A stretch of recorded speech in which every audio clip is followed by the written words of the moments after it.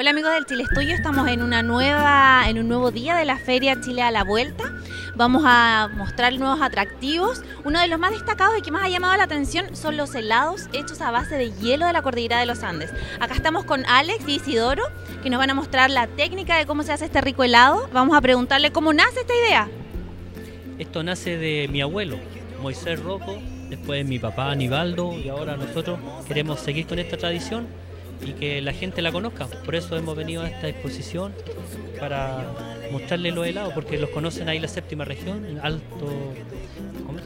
Vilche. Vilche Alto, Alto del Lircay. ¿ah? En esa zona más o menos y todo lo que es la región del Maule se conoce. Entonces queremos darla a conocer a todo Chile. ¿ah? Cuéntame cuál es el secreto. ¿Le ponen colorantes? ¿Qué tipo de sabores le ponen? ¿Es natural? El secreto es que es todo natural. Eh, azúcar, eh, canela cocida y plátano molido y nada más.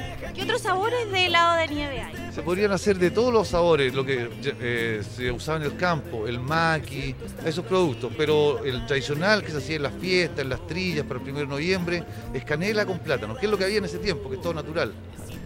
Qué rico. Cuéntame, ¿dónde los puede encontrar la gente? ¿Tiene alguna página de Facebook, algún portal donde los puedan ubicar? Página de Facebook, eh, helado de nieve roco. Y físicamente, si yo voy a la séptima región, ¿dónde los puedo ubicar?